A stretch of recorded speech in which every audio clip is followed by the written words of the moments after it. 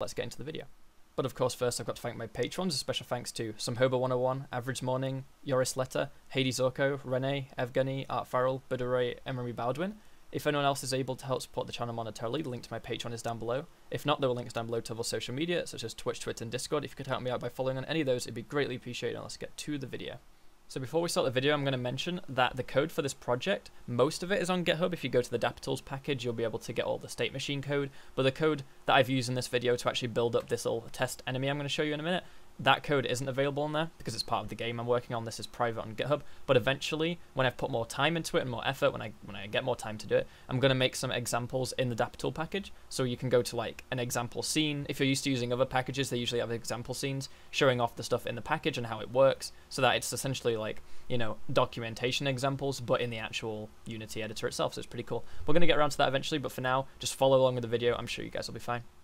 So this little enemy I've built doesn't actually do any attacking yet, you know, there's still plenty more features I need to build, but I wanted to get the basic logic working, which is it's just a stationary enemy that um, has different states, and one of the states is the idle state, where it's essentially just searching for a target, and then when it finds a target, it locks onto it, and then eventually I'm gonna, you know, implement some shooting mechanics so it can actually start attacking the player, and then when you leave its range, it stops aiming at you, right? So I'll just show it in action right now. If I manually move the player closer, you notice how I get into a certain range and it'll snap onto me like that. And then it follows me around, you know, I can go over here and it follows me around like this. And then I can, for example, disable the gravity behavior, which is one really good thing about splitting all this up. I can just disable gravity behavior, and then now the enemy doesn't have uh, gravity at all. And it can aim at me up here, and if I move across, obviously it follows me around. I can come down over here. I can like enable gravity again and fall down. So this enemy has his uh, is in the state of aiming right now, and then if I, for example, move away enough, he'll stop aiming at me. So when I move over here now, it's not aiming at me, right? It's just aiming over there. Now, I could make it do whatever I want. The point is, for this enemy, I've not written any specific code for this enemy, which means that whenever I make anything else in the game that has any similar functionality, I can just reuse that code. Now, I'm not saying the code I'm writing right now is perfect. Obviously, I've written it quite recently, and I'll probably go back and refactor it at some point. But the point is, it's a pretty good proof of concept. I'm going to show you what I've wrote and why it works and why you should use it. And then, obviously, it's up to you to build up your own implementations of it. So let's go to the package now. So you see here, the enemy, uh, as a child, has a state machine. This is just the way I uh, recommend we set this up. Eventually, I might make some editor window to do all this in to make it all fancy, but I don't know how to do that yet. I, have seen tutorials on it, but I'm not going to waste time building a nice editor window. You can just do it yourself. Um, you put a child of the thing you want to give a state machine, give it the state machine. Uh, it can be called whatever you want technically, but it makes sense to call it state machine. And then in here, you just add a state machine behavior and then all the children are the actual states. So if we go to the state machine behavior, and then we zoom in a bit. Okay, so this is a mono behavior, remember? And just like I've explained in my video two videos ago in Unity, um, we have the behavior and then we have the implementation. And the behavior is used to inject any data into the implementation you need. So, for example, the state machine needs to know what state to start on. So it's up to the mono behavior to reference that state and then to pass it in on the constructor, right?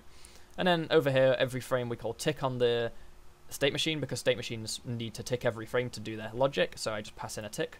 And then uh, change state can happen uh, if you, for example, want to force a state change rather than setting up an actual condition diagram. So if you've, if you've ever used state machines before, you'll have conditions for when it goes from one state to another. And I've made it so we support conditions, but we also support just telling it to go to a certain state. Now, the built-in Unity animator actually does this too. You can uh, set up like, oh, if the float is bigger than one, then go to this state, or you can just say go to this state, right? Um, so I've got that functionality here. And if we go into the state machine itself, uh, the logic is basically uh, in the constructor, we want to change state to the starting state, which is the one they've passed in. And all we do is we say, well, the change state function will exit the current state, and this question mark means we'll only exit the current state if it's not null. So obviously, if we just called that and it was null, then we'd get an error. So exit the current state if there is one, set it to be a new state, so like cache store this state here, so this we always store which state we're currently in, and then call enter on the new state, right? Okay. And it's an I state because uh, the state machine shouldn't know what a state really is. It should know what a state kind of has, but not how it works. That's why we're using interfaces instead of implementation. Um, and then down here for ticking, also it means that when you do unit testing, it's a lot easier. Uh, you can use mocking libraries. But here we're basically saying, okay, when we process transitions uh, on a state, we actually get back a an I state. Now that could be null or an actual state. If it's a state, it means we want to go to it. Otherwise, don't, right? So make sure, check if there's conditions to go to uh, a new transition, sorry, a new state via the transition. If there isn't, then we don't do this here. But if there is, we do it, right? We go to that state. Now, next thing to show you, going down here, is, well, the interface iState uh, has an enter, an exit function, and a process transitions, okay? Now, if we actually go to the implementation, we pass in a state, okay? So a state is obviously an I state.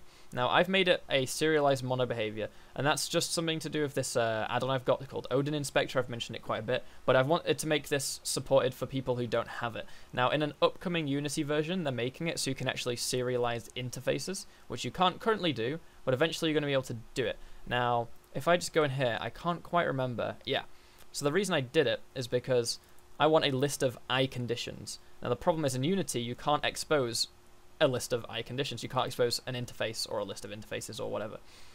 Soon we'll be able to do that. We can't right now. So keep in mind, guys, this is my private project. Like this is my, um, you know, it's it's in my own repository. So I've used all the Odin stuff here. But in the actual public one you guys use, it's not the exact same code. Okay, it's slightly different, but eventually it'll look like this, where we'll be able to actually serialize a list of I conditions. And all a condition is is uh, something that has a boolean. Let me go to it. So we have a bool function for whether it is met or not. And then we can actually, I've made it an extension function. If you have a list of i condition, you can actually just call con like conditions.aremet and then uh, it returns for you whether they are all met. Okay, it's just a nice little helper function. So over here you say, um, where are we? I've got lost now. Okay, let's go into state machines, state machine, we want to say process transitions, which is in the state, process transitions. So we say for each transition, check if the particular transition conditions are met. So you can imagine, let's go into paint real quick. You might have your character with an idle state, right? Let's say this is the idle state. And then you might have a, a running state over here. Okay, so the condition to go to the running state might be, you know, pressing move or whatever. And then the condition to go back to the idle state is, you know, releasing move. So you've got these conditions, right? You've got a single condition, and that condition's result is to go to this state. So what you do is you have um, these transitions with their conditions.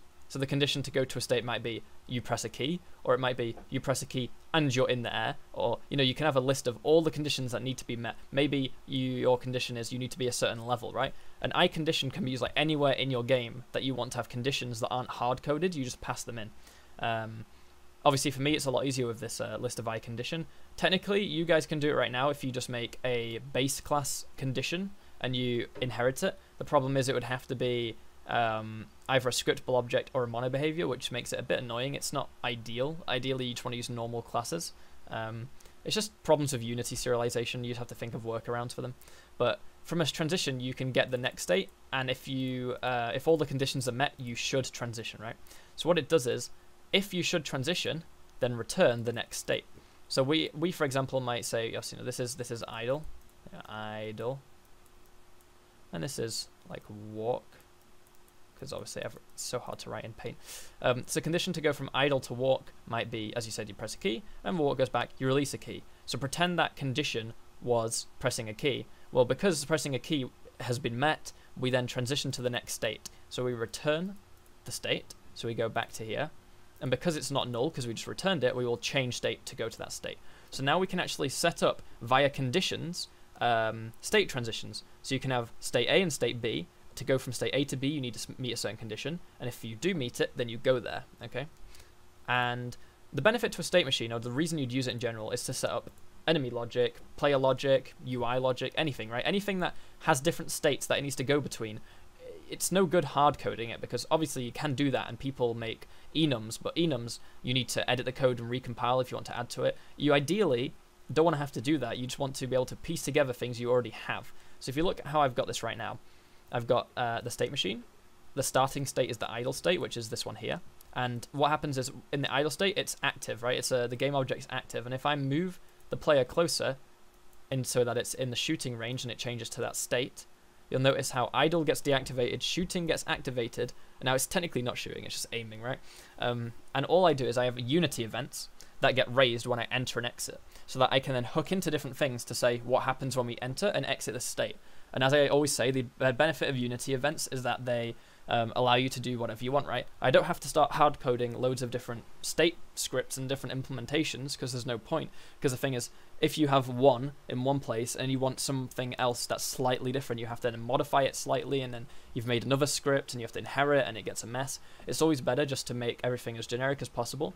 Now, with ECS coming, ECS would be a very good solution for all this um, eventually because it would just mean um, the, the problem with Unity events is they're not the most performant. Like, they don't really cause problems unless you're you know, calling them every single frame. Now the thing is, you're not, you know, raising on enter and exit every single frame. You're not going to be going in and out of states every frame. Now, obviously, as well as doing stuff when you enter a state and exit a state, you might want to do stuff every frame while you're in a state. So there's there's multiple ways to do this, right? It's up to you guys.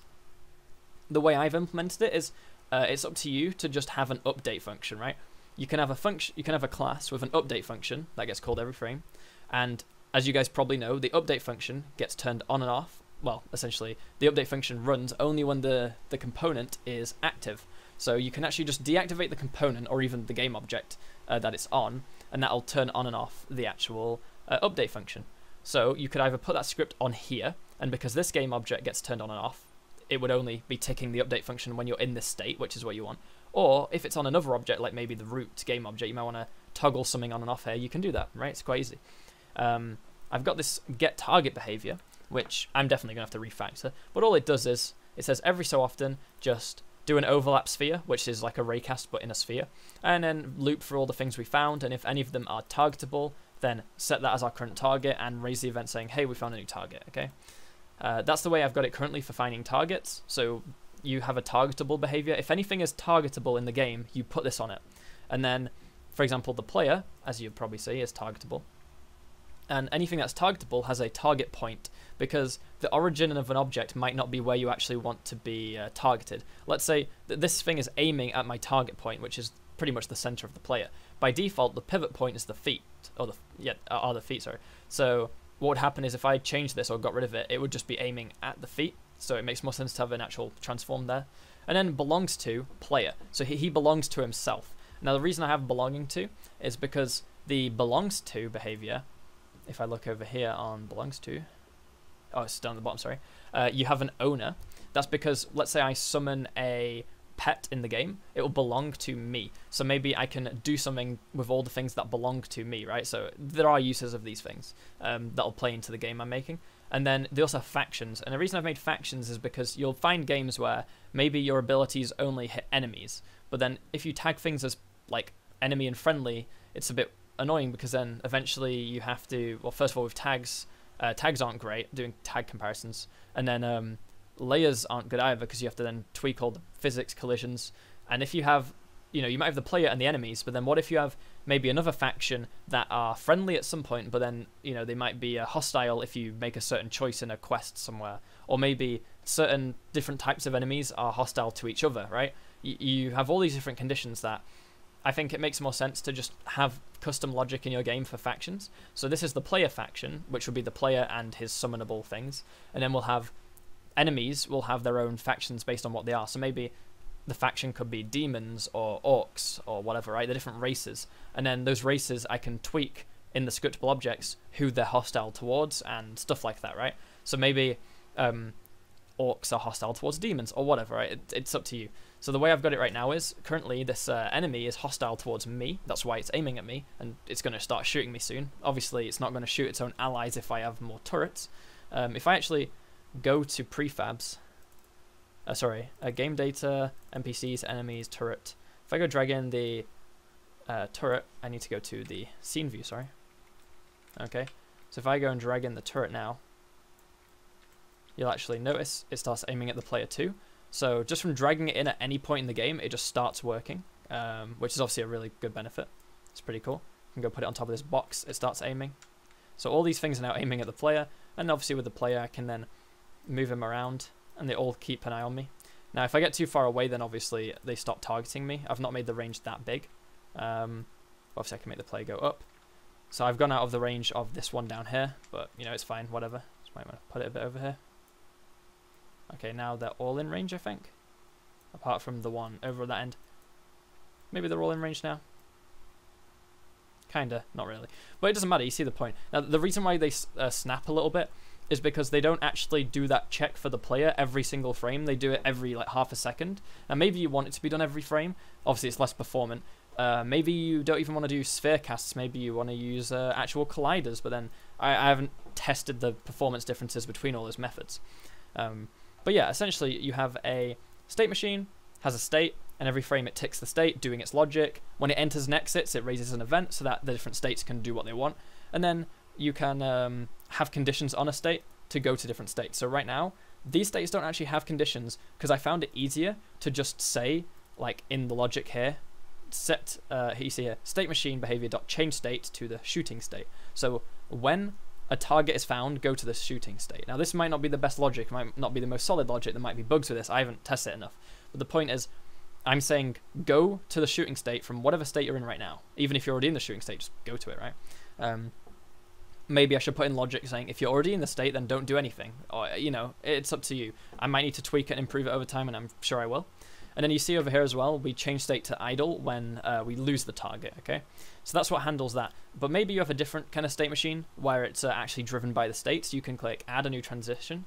Now, because I've got Odin, I can say I want a new uh, state transition, which uh, has the next state, okay? So the next state is shooting, and the condition is and then there's other conditions. So I've got my different types of conditions. I've got the grounded and the velocity ones. So for example, uh, go to the um, shooting state if we're grounded. And what does it need to know for grounded? Well, first of all, it's true or false because maybe it's actually uh, you want to go there if you're not grounded or if you are grounded. So you can tweak that boolean to choose. And then you also need to tell it which character controller should actually be grounded, right? So you just drag in the character controller. But this is just an example, right? Now, for you guys, if you wanted to do it without this, and you had to put in the conditions, or sorry, the, yeah, the conditions, you'd have to make them inherit from mono behavior. You'd have to add them to the game object and then drag them in as references, right? It's a bit more fiddly and a bit more annoying, but eventually we won't have to do that. And I'm looking forward to when that update comes out because then I don't have to keep using Odin just to do simple things like this. But yeah, uh, I think it's pretty cool. So I can say, okay, maybe you need to be on the ground and have a velocity of uh, a y velocity that is greater than zero. For example, right? I've made some little example conditions. Um, so you can just keep making your own conditions and pass in the references you need. And all it's saying is, okay, I will move from this state, the idle state, to the shooting state when I am grounded and my y velocity is greater than zero. That's just a stupid example, but you can obviously build upon that. You might want to say, oh, I can go from this state to this state when my character level is 10. Maybe you want to limit, you know, something you can do. Maybe let's say, for example, you unlock double jump at level two. Well, all you just do is the way the uh, transition condition to get to the jump state would be one of them would be you have to be at least level two. Okay, that makes simply a simple ex, uh, example there.